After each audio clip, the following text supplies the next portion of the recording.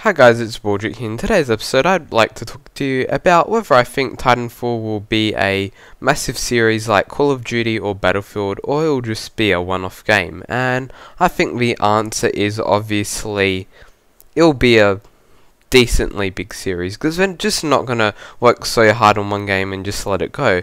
Like maybe Insurgency, because that's not much of a big game. That might just be a one-off game, but hopefully not. I hope they make Insurgency too, but for this, since tons of people know about Titanfall, and basically all the COD players have heard of it at least, or not all of them, but most of the people are keeping up to date with the latest games and of Titanfall for sure. And I think if, yeah, I think if EA and Respawn Entertainment really want to kick off their new franchise, they they need to put a lot of effort into the first game, and that's exactly what they've done.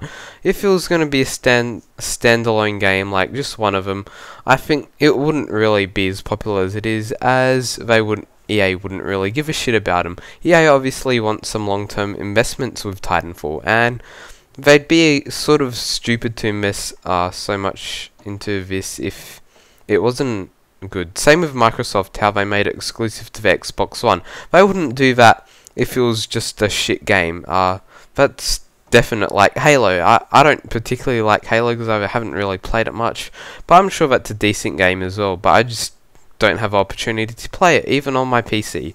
So I think uh, Microsoft definitely knows what they're doing, even though Microsoft has, has done many stupid things in the past with their gaming franchises. It they definitely know what they're doing now because they're not too stupid.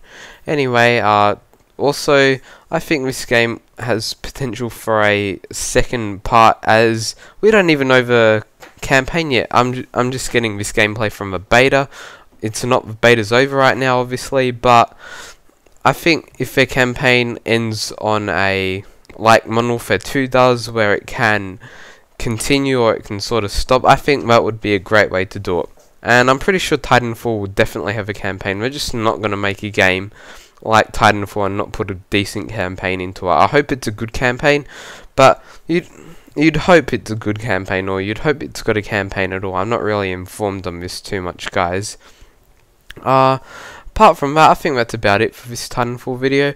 Uh, I think they'll do some patches for some of the overpowered weapons, such as the smart pistol, which I was using. It's not too overpowered, it's a bit overpowered, so to say, but I think if they lower the range a bit, I think that would be decent patch. Because that close range, I think it should be able to do that. Because with the carbine, you can easily gun down people that easily. So anyway guys, thanks for watching this video. I really appreciate it that you've stayed and watched this far.